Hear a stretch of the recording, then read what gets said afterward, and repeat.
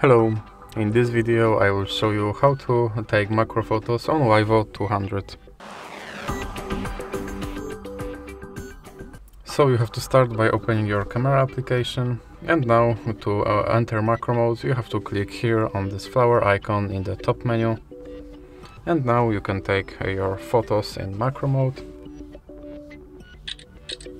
and to leave macro mode you have to click on the same uh, flower icon again.